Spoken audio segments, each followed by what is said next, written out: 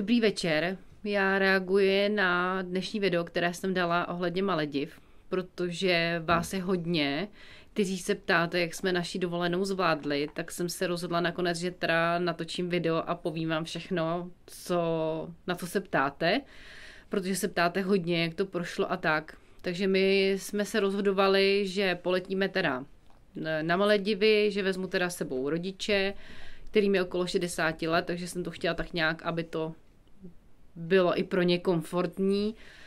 A našla jsem si na Instagramu Péťu z Maledivy by Island Story. Domluvila jsem s ní nejdříve termín, který jsme měli daný, stanovený pevně, že poletíme na jarní prázdniny, aby dcera co nejméně zameškala do školy.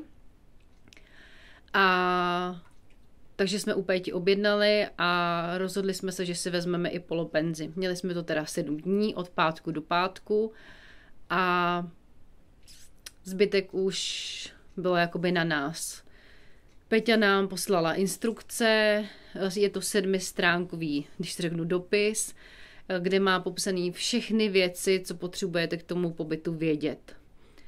Já jsem eh, teda tohle to všechno zamluvila, zarezervovala s tím, že teda máme sedmi denní pobyt, spolupenzí pro pět osob a dva pokoje, tři a dva. Pak teda bylo na to vybrat letenky. Tím, že jsme od Liberce, takže jsme, eh, pro nás je prostě Vídeň daleko, takže jsme se rozhodli, že poletíme z Prahy, takže jsem vybírala z Prahy. Na doporučení jsme nakonec vybrali Turky, že poletíme z Turkish Airlines a přestavo, pře, jo, no, přecházet z letadla budeme v Istanbulu.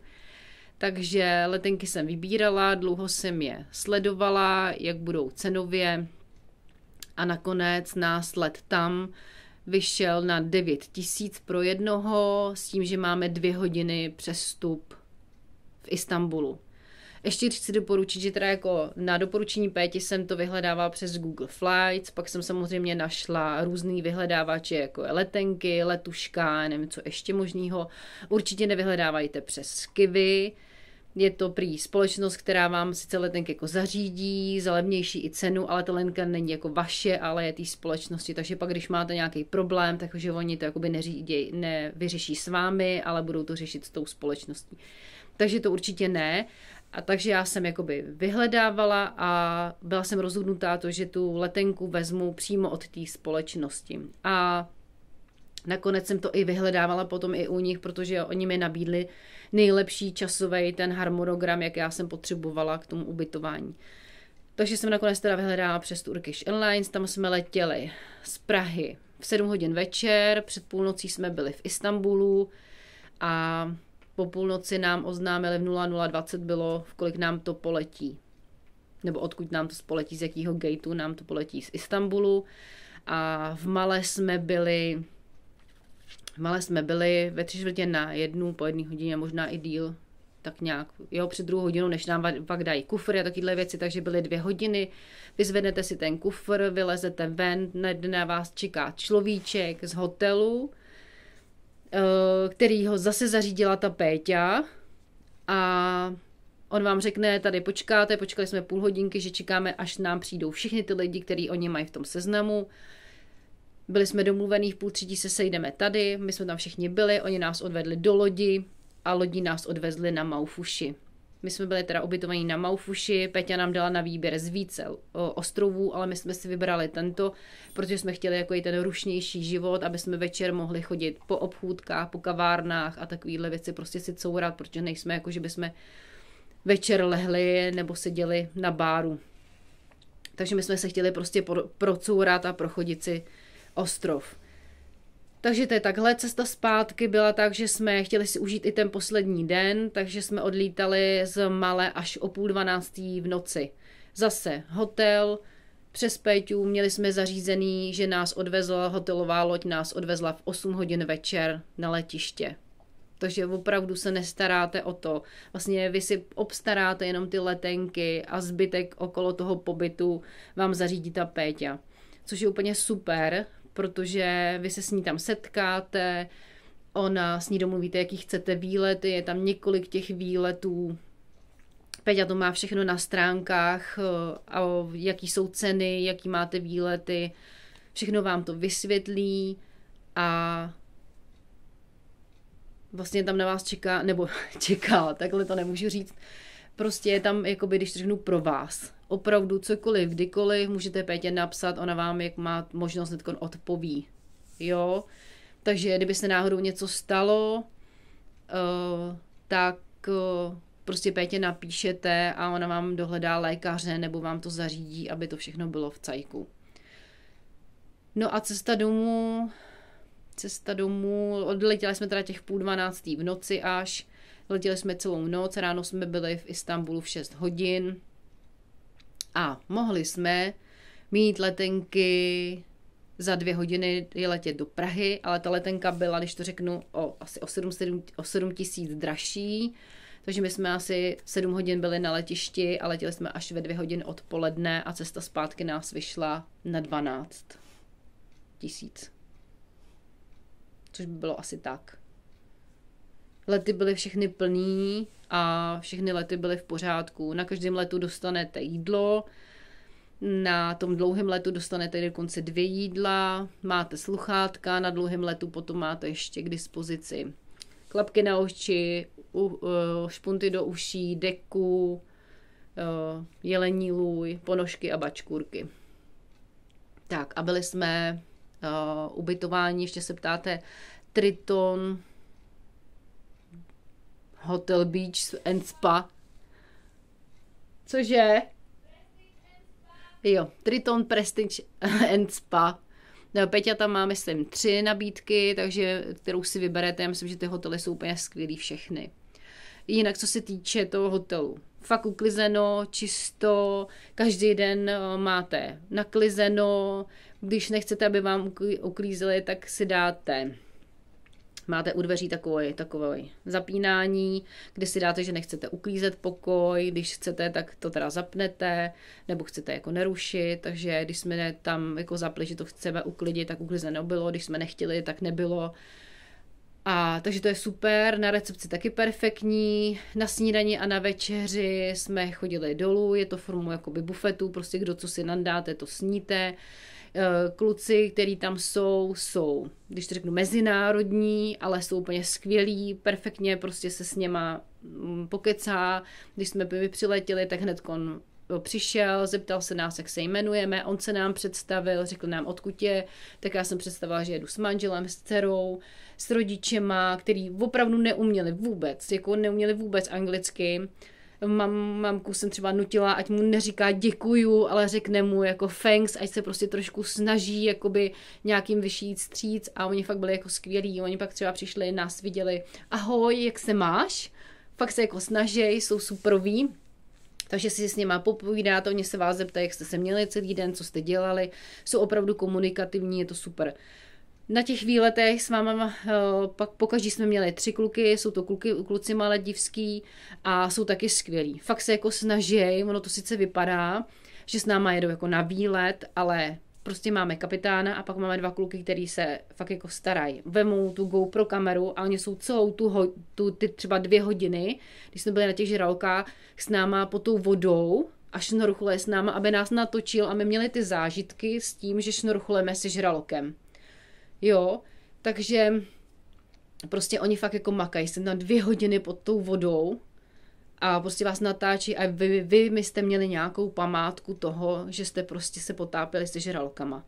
Pak si jede někam dál, se zase třeba potápí, nebo vám jedou ukázat ostrov, nebo si jede na sandbank a tam vám rozloží prostě stánky prostě s dešníkama, aby na vás neslítilo sluníčko a potom vám rozložíte si ty deky a máte tam prostě piknik. Oni vám ty kluci zase nachystají ten oběd, který si vezeme s sebou, rozkrají jablíčka, každý dostane pití, takže opravdu oni se celý den o, ten, o vás jakoby starají, takže to je prostě perfektní. Fakt ty lidi jsou super, fakt jsou vysmátí, pokud vás pozdraví, jak se máte, co jste dneska dělali, takže jako jsou komunikativní, je to super, potkáte je pak i ve městě a hned se k vám hlásej.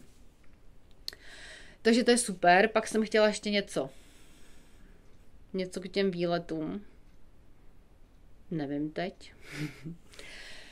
My jsme třeba byli ještě i na večerním grilování což bylo, že jsme přijeli na ten písečný ostrůvek a já říkám, jestli se můžeme jít projít, kluci jako že jo, ať, ať se projdeme a když jsme se vrátili zpátky, tak tam byla připravená z písku manta udělaná, bylo tam udělané ohniště a měli jsme tam udělaný takový sedačky, eh, do kterých jsme si pak sedli a kluci nám zase nachystali tu večeři. Já musím říct, že teda my nejsme žádní mm, znalci angličtiny. My jsme takový jako, že jsem se od října snažila každý den něco se učit z Duolinga a jinak to máme rukama, nohama a moji rodiče neumějí vůbec. Takže ty výle, na ty výlety, my jsme akorát jeli sami jedinou ten výlet na tu večeři, ale dali jsme to. Prostě když chcete, tak se dá. Nebo si stáhnete Google slovníček s angličtinou offline, abyste ho mohli mít. A jinak s náma na výlety třeba jeli i jiní lidi, kteří tam jsou ubytovaní přes Péťu, kteří tam mají ty výlety s náma a oni třeba umějí a jsou strašně hodní a pomůžou nám to pochopit, nám přeložit, co jsme třeba nepochopili. A nebo na ty výlety s váma jezdí Péťa. Tak to pak je úplně luxus, protože to je servis jako jedna báseň. A ještě co jsem teda chtěla, co už jsem se na to vzpomněla, že když teda máte volný den a nechcete nic na žádný výlet jet, tak přijdete na tu recepci a řeknete, že chcete jít na pláž, jestli by vám mohli zařídit uh, ty lehátka a ručníky. Takže oni vám dají ty ručníky a než dojdete na pláž, tak máte uh, ty lehátka připravený. Stalo se nám, že už lehátka, šli jsme později, že už lehátka nebyly, ale na pláži je bratr, bratr Péti, je to zase maledivec, ale je úplně suprovej, takže když řeknete, že jste od Péti, tak on vám ty lehátka tam nachystá. Jo, u něj si můžete objednat jakýkoliv drink, jakýkoliv, jakýkoliv jídlo, on vám dá jídelní stek, takže buď nějaký jídlo, nebo my jsme si objednávali talíře s ovocem, takže jako super to bylo. Měli jsme i jednou pizzu, jsme si dávali, tak to nám taky donesli, takže cokoliv, koktejly, zmrzlina, jo, je tam eh, ledová káva a takovýhle všechny, všechny mňamky. Co nepotkáte na ostrově alkohol. Alkohol je jenom na lodi, která je 200 metrů, jezdí tam prý každých 15 minut lodička. My jsme toho nevyužili, opravdu nepotřebujeme alkohol, nechybí nám to, jako ne, nemáme tu potřebu, takže drinky, který máte, koktejly, všechny v hotelu nebo někde jinde, tak jsou opravdu bez alkoholu, ale jsou tak dobrý, že ten alkohol v tom nepotřebujete. U čeho jsme se teda pobavili, manžel teda ochutnal nealkoholické pivo, bylo vychlazené perfektně a k tomu dostal sklenici s ledem ještě. Takže jsme teda testovali a nalili jsme to pivo do toho ledu, což teda nebylo moc dobrý. A já nevím, co ještě vám odpovědět, co tam bylo a nebylo. Jo, hele, mm, když to vemu suma sumárum, tak jsme uh, ta dovolená nás stála, jako my jsme už tři dospělé osoby, uh, dcera je na střední škole, takže už se počítá jako dospělá osoba. Když to vemu kolem a kolem, tak vás to vyjde jako dovolená v Řecku. All inclusive. Jo, my jsme my jsme byli rozhodnutí, že právě nechceme do žádného rezortu. Za prvý nejsme žádní milionáři a za druhý nevím, já bych se asi v tom rezortu u, užrala nudou. Prostě potřebuju ty lidi okolo sebe. Jedu sice na dovolenou, ale my nejsme takový, jako že lehneme si k moři, ale my prostě potřebujeme být i v pohybu, i na dovolený. Tak proto jsme zvolili tenhle ten ostrov. Jinak teď, teď Kompeťa nabízí i kombinované pobyty, a což nás teda velmi láká. I, takže mě, to je třeba náš, náš třeba další sen. Třeba je podívat se na kombinovaný pobyt. Jinak, ještě co chci říct k těm výletům. Musím říct, že jsem teda jako měla respekt k tomu, jako jsem jakože plavec, takovej normální, takže jsem si první den na výlet řekla, že si nevezmu sebou vestu, že to nepotřebuji, že to jako dám, ale pak, když jsme přijeli vlastně na ten oceán, tak jsem zjistila, že teda jako jsem si tu vestu jako vzít jako sebou měla. A pak jsem za ní byla ráda na další výlety, už jsem ji fakt jako měla, protože když si prostě potřebujete sundat na chvilku ten šnorchl a nadechnout se a teď má přijít zase ta vlna, tak já nevím, kdo, kdo, kdo je takový normální plavec, nebo chci mít nějaký pocit jistoty, protože pod váma je stejně fakt jako hloubka, tak je lepší ten, ten prostě mít. Jo, tu vestu. Uh, to mám všechno ráno, vlastně vy když přijdete ráno na ten výlet, tak kde přijdete o půl hodiny dřív do toho centra těch, těch výletů a oni vám dají šnorchl, ploutve a tu vestu. Jo? Co k tomu ještě říct? Můj otec je neplavec. Nikdy v životě neplaval, nikdy ne to a nejdřív jsme měli strach, jako co tam vlastně bude dělat a Péťa nám odpověděla, že prostě to dá, že to dávají i malí děti, tříletý, prostě v pohodě. Takže můj teďka se jako rozhodl, že opravdu to bude.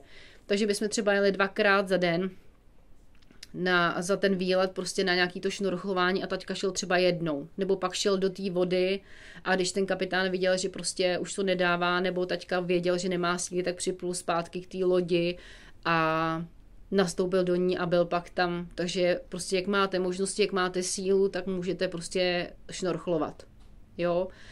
Uh, pak jsme vlastně byli na těch žralokách. Fakt respekt ním mám. Byli jsme po dvou, po třech. Fakt ty ruce jsme měli u těla, aby jsme se nebáli, aby nás někdo jako nekousnul, protože jim dávají mňamky, aby, aby se k nám uh, připluli podívat na nás. Takže to jsme fakt měli respekt. A když jsem poprvé skákala do toho moře, tak jsem měla jako fakt respekt k tomu, jakože skočit do té hloubky, jo, jestli se někde neutopím nebo tak ale oni se opravdu vás skvěle starají. Takže jestli můžu doporučit, fakt to zkuste, odvažte se, jeďte, nebojte se. Uh, doporučuji určitě s Péťou. Fakt jako, jako jsem ráda, že jsme nejeli takhle jakože úplně na blend, že jsem mm, dostala doporučení. Co mě teda nakoplo, byl můj v práci 60-letý kolega, ten neumí, ten neumí šprechtnout ani jedním slovem, říkal, že maximálně si vzpomene na něco z ruštiny, ale byl na Sri Lance, na Maledivách, na Bali, všude možně a já jsem říkala, když to dá on, proč bych to nemohla dát já. Takže vám držím palce, ne palce, pěstí jsou štěstí a dáte to. Fakt jeďte. Splňte si své sny kdy jindy než ne teď. Mějte se. Čus.